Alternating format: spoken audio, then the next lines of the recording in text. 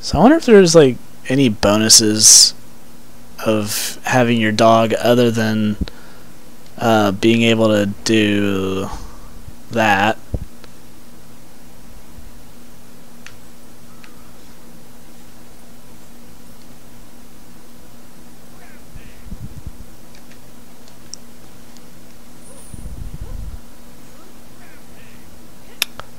I really like uh, Ares into a Loki.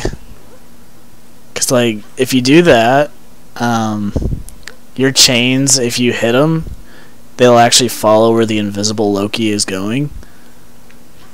So you hit a chain and then you can continue to hit the Loki.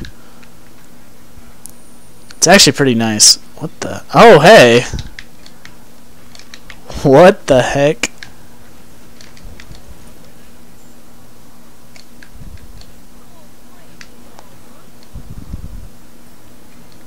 Oop. I don't want to be targeted by turret.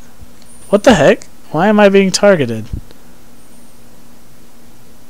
That was a very interesting interaction. I guess if you get the chains on before they back, I guess the chains stay on and then it pulls them right back. That was very interesting interaction. I think I might cut that as a highlight.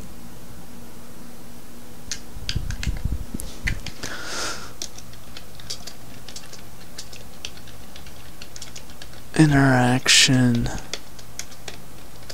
for your ult Ares.